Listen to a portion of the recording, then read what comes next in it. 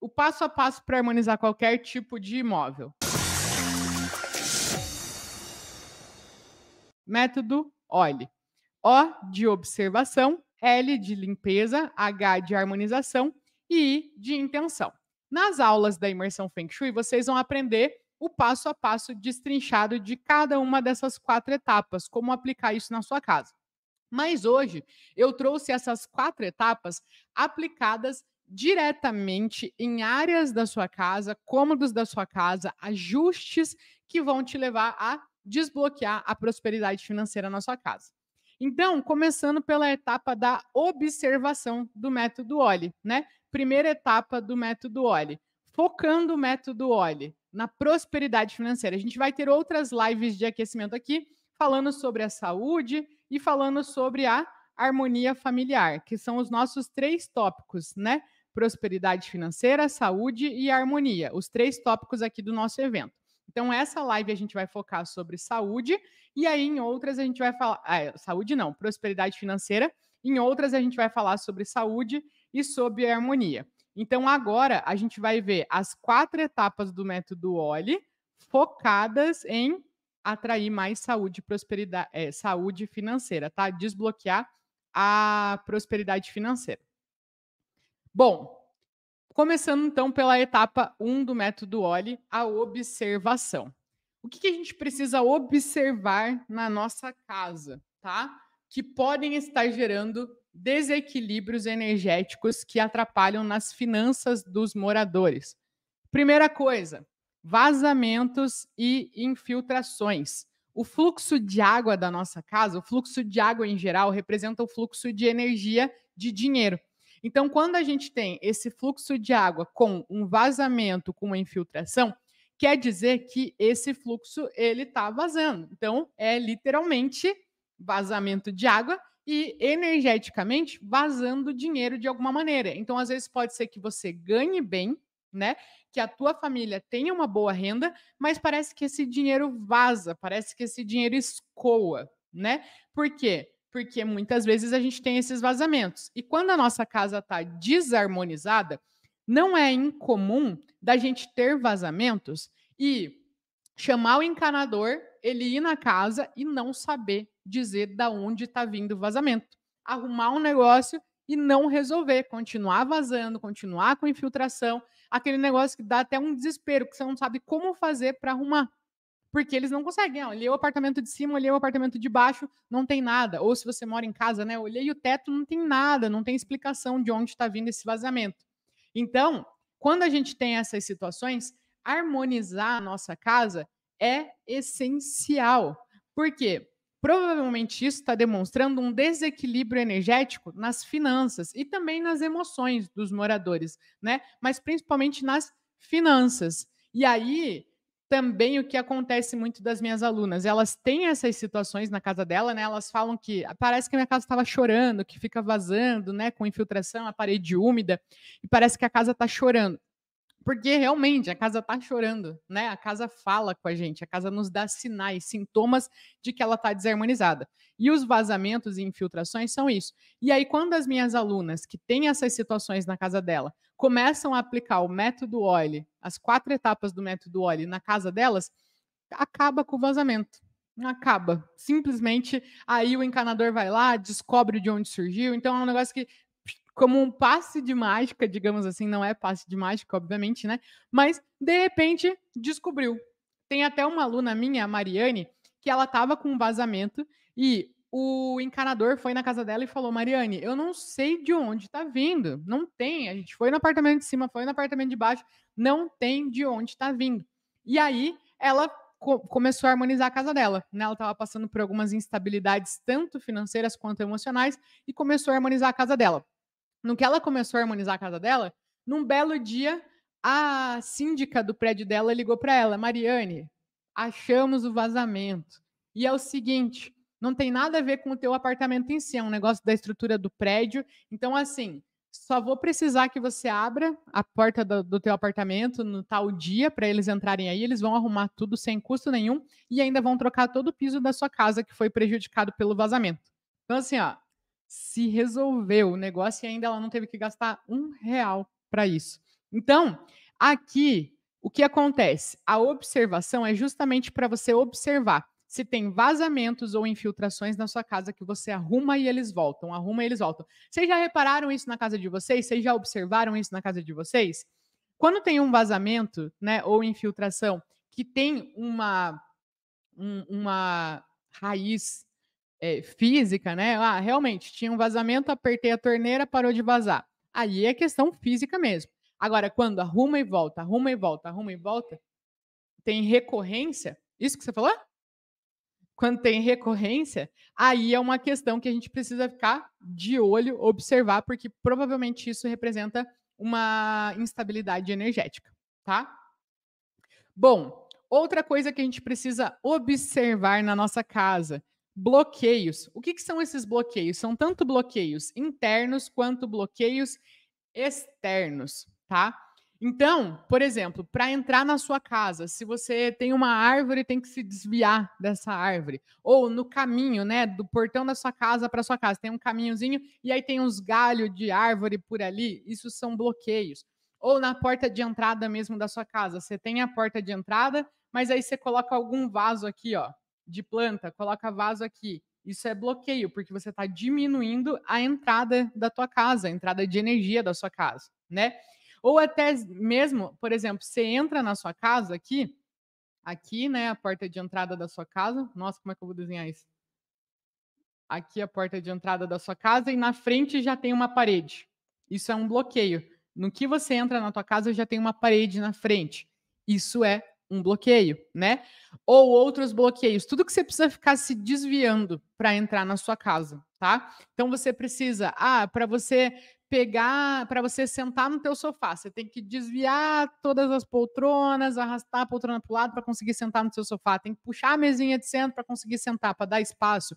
Ou até mesmo portas de armários, portas de gavetas, que às vezes você coloca uma cadeira na frente, mesa de jantar que você tem que arrastar para conseguir sentar todo mundo. Então, tudo que você tem que fazer uma movimentação para conseguir, ah, tem que tirar o vaso de cima para conseguir abrir aquela porta, para conseguir abrir aquela janela, tudo que você precisa tirar, remanejar, hã?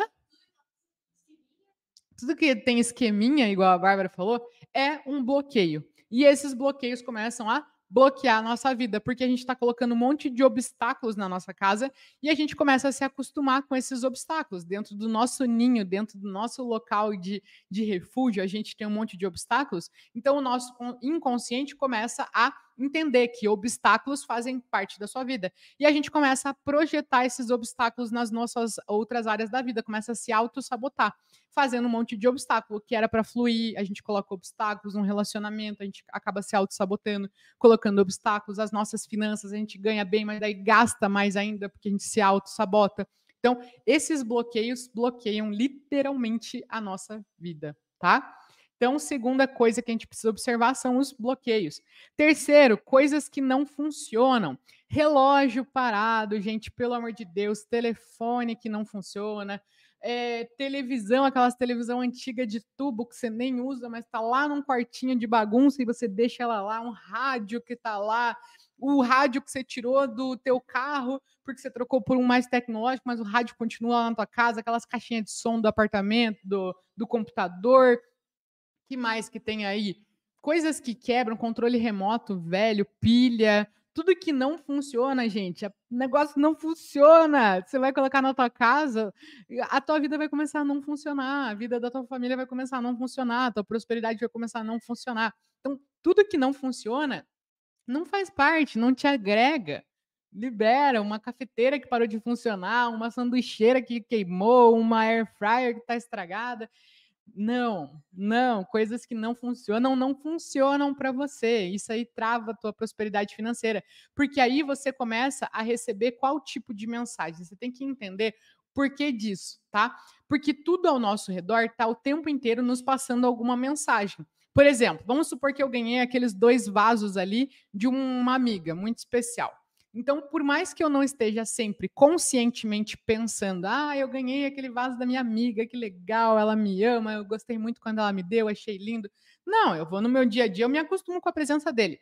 Mas o meu subconsciente, cada vez que eu estou na presença desse objeto, ele me relembra os sentimentos que isso me traz. Então, ah, me sinto amada, me sinto, né, uma pessoa que tem amigos, que pode contar com as pessoas, que é presenteada, que tem o reconhecimento. Então, isso vai alimentando. Se eu me alimento de várias coisas que me dão estímulos positivos, isso vai fazer a minha energia aumentar. Se eu me alimento de várias coisas que dão um estímulo negativo, isso vai fazer a minha energia diminuir. Então, se eu tô cercada na minha casa de várias coisas que não funcionam, começa a chegar aquele negócio, ai, nada na minha casa funciona, nada é tão bom mais como era antes. Nossa, a minha vida antes era tão boa e parece que agora tá tudo meio que capengando, as coisas já, né, não funcionam, nem meu relacionamento mais é do jeito que era, minha saúde também não, minha disposição, porque as coisas não funcionam mais dentro da tua casa. E você recebe o tempo inteiro esse tipo de estímulo, né? Então, não funciona, não funciona para você, tá? E por fim, a quarta coisa que a gente olha, né, que a gente observa na primeira etapa do método OLE, é o mapa de energias da nossa casa. A gente tem dentro da nossa casa um mapa de energias, tá? A gente consegue, através, você consegue, por exemplo, desenhar a tua casa, né? É, dizer ali onde fica a tua casa, teu quarto, tua sala, tua cozinha, e através do desenho da sua casa, a gente consegue mapear as energias dela. Por quê? Tem nove áreas, né, que são centros de energia, como se fossem os chakras do nosso corpo. A gente tem essas areazinhas ali na nossa casa. E aí a gente consegue mapear exatamente onde estão essas áreas. Por quê? Se tiver vazamento, bloqueio, coisas que não funcionam, elas vão começar a travar justamente as energias daquela área da nossa casa que está travado, que tem esses objetos, né? Então, por exemplo, a gente tem nesse mapa de energias, são nove áreas no total, tá? Mas algumas áreas que podem influenciar diretamente na tua prosperidade financeira. Algumas áreas que podem influenciar diretamente. Área da prosperidade, tá?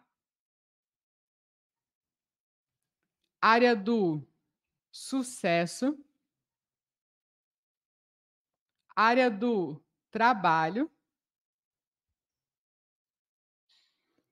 e área dos amigos, tá? E aí, algumas pessoas pensam que, ah, para eu harmonizar minha casa, se eu quero ter mais dinheiro, que eu, se eu quero desbloquear a prosperidade financeira, então o meu foco é a prosperidade financeira, a área da prosperidade. Só que não necessariamente, tá? O que, que acontece? A área dos amigos, ela é uma área que ela representa os clientes, não é só amigos, tá? Se a gente pudesse traduzir de uma maneira melhor, amigos, seriam pessoas úteis, tá? Pessoas úteis. Então não são, porque a gente aqui no Brasil tem, né, o costume de amigo é aquela pessoa que eu considero, os outros são colegas, amigo é uma pessoa que eu considero demais. Mas não, aqui amigos a gente pode traduzir por pessoas úteis. Então, pessoas que nos ajudam na nossa jornada, pessoas que fazem as coisas acontecer. E, por exemplo, se você trabalha com venda, se você vende é, geleia, se você vende sabonete, se você vende tricô, se você vende terapia, se você vende, se você é advogado, se você é dentista, né? Qualquer coisa, se você é diarista, todas essas pessoas que contratam os seus serviços, os teus. É, ou os teus produtos são pessoas úteis que fazem a sua empresa, o seu negócio rodar, né? Então, quando a gente fala dessa área dos amigos, ela também representa os nossos clientes. Então, não é só você focar na prosperidade. Se a questão é que você está com problemas financeiros porque você tem poucos clientes, então você vai focar no mapa de energia da sua casa nessa área de pessoas úteis. Agora, se a questão é que você está com dificuldade financeira porque você não está trabalhando, ou porque teu marido não consegue um emprego, ou porque você tem três filhos e todo mundo depende financeiramente do teu trabalho, né? E aí você precisa que eles arranjem um trabalho para eles. Então a gente vai trabalhar a harmonização na área do trabalho, para desbloquear o trabalho. Consequentemente, o resultado vai trazer mais prosperidade para dentro da sua casa, né? Ou se é o reconhecimento, você até tem um trabalho, mas é um trabalho onde você não é reconhecida, ganha pouco, né? Te oferecer, te prometeram uma promoção há anos atrás, só que nunca veio essa promoção, você não tem o um reconhecimento, ou teu marido, né? E aí, com essa questão de reconhecimento, a gente trabalha a área do sucesso, tá? E, por fim, a prosperidade. Só que a prosperidade ela é mais a pontinha do iceberg, digamos assim. Então, a prosperidade é o quê? É muito do sentimento de que, Bruna, eu ganho bem, mas o dinheiro não para na minha casa. Aí a gente vai focar na área da prosperidade. Bruna, eu ganho bem, mas eu gasto mais do que ganho. Aí a gente foca na área da prosperidade. Bruna, eu ganho, né? Ok, mas parece que o dinheiro entra e já sai da minha casa. Aí o foco é na prosperidade. Ou ainda, né? Bruna, eu ganho bem, dinheiro sobra, mas eu me sinto culpada, não me sinto merecedora desse dinheiro, né? Tem um sentimento de culpa, não consigo sentir dentro de mim que eu sou próspera. Ou eu ganho bem, mas eu tenho tanto medo de perder que eu não consigo nem curtir o dinheiro que eu tenho. Aí é questão de prosperidade.